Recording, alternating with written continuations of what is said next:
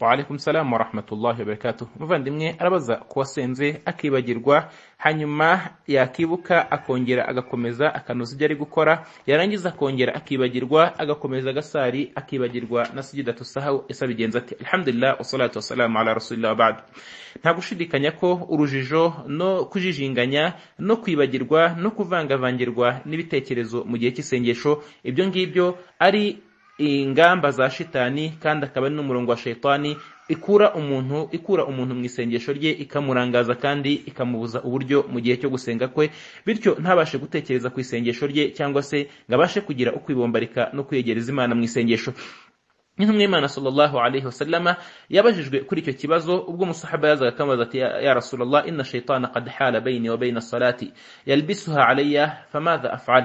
Avuga ati intumwa y'imana shaitani iranyivangavangira mu isengesho ryanjye ikarivangavanga ikanyibagiza ibyo ndimo ikankura ku murongo. Nzakora iki? Intumwa y'imana sallallahu alaihi wasallama iramubwira iti uwo ni shaitani witwa khinzab.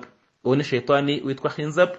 Intumwa y'imana iramubwira iti idha ahsastahu nuramuka wiyumvishe ko ibitekerezo bitangiye kuza kukuvangavanga ati uzacire ibumoso bwawe gatatu uzavume ibumoso bwawe gatatu hanyuma wikinge kuri shaitani.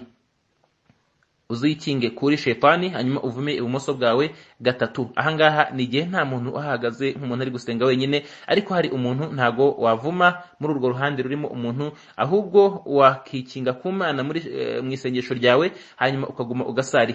Kuba wakibagirwa inshuro irenze imwe mu isengesho ibyo ngibyo ntabwo byangiza isengesho. Kubera ko ushobora gusari ukibagirwa sijida bwa mbere ukayibuka ukayikora ukongera ugasari ukibagirwa kwicara tahiyatu hagati ya raka ebyiri bakakwibutsa wagera ku ya gatatu ukicara ugatora salamu bakakwibutsa ukongera ugahaguruka ugasenga iraka ya kane na yo wayirangiza ukibagirwa sijidatu sahawu nabwo bakakwibutsa ugakora ya sijidatu sahawu hanyuma ugatora salamu. Kuba umaze gutora salamu ntabwo bikuraho sijidatu sahawu kuko icyubamo cyo kwibagirwa. Intumwa y'imana sallallahu alaihi wasallama yagikoze mbere yo gutora salamu inagikora nyuma yo gutora salamu. Bityo iyo utoye asalamu wabigambiriye ko uragikora nyuma ya salamu ntacyo utwaye. Unayitoye wibagiye ko utagikoze kandi ugomba kugikora mu isengesho ryawe ryabonetsemo impamvu z'icyo cyubamo. Icyo gihe iyo umaze gutora salamu urongera ugakora izo sijida ukongera ugatora indi asalamu imwe y'iburyo hanyuma isengesho ryawe ku bubasha bw'imana iraryakira. Ari nako nanone kandi ubabazwa n'ibyo ngibyo bikubaho uniyegereza imana unayisaba unayitakambira cyane ko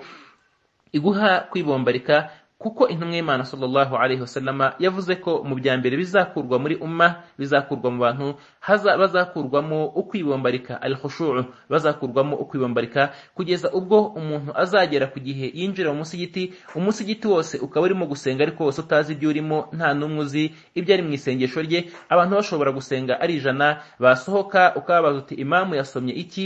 cyangwa n'iki cyabaye mu isengesho ugasanga nta n'umwe ukizi kubera ko bose bari bahuze kandi barangaye. Ibyo ngibyo byo ni ibigeragezo byo mu bihe bya nyuma dusaba imana ko yaduha gushikama mu isengesho ryacu igakangura imitima yacu ikaturinda shayitani kandi ikaduha no gukora ibikorwa byakirwa. Wallahu a'lam.